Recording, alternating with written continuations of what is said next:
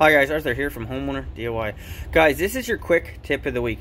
When it comes to engine coolant, really there are two types. We have Dexcool here on the left, it says right there Dexcool, which is red. And then we have ethanol glycol, which is here, which is green.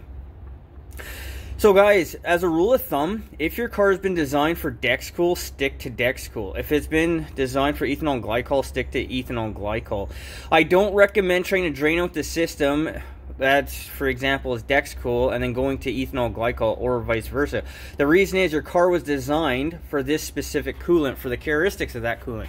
So we see here use Dexcool only. Also the cap here this is faded but it should be red. But guys, under no circumstance ever mix in ethanol glycol into a Dexcool system.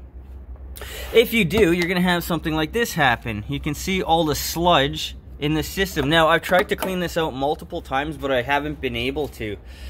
So guys, stick to the same type of coolant that your car was designed for and under no circumstance ever mix ethanol glycol, ethanol glycol or Dexcool together.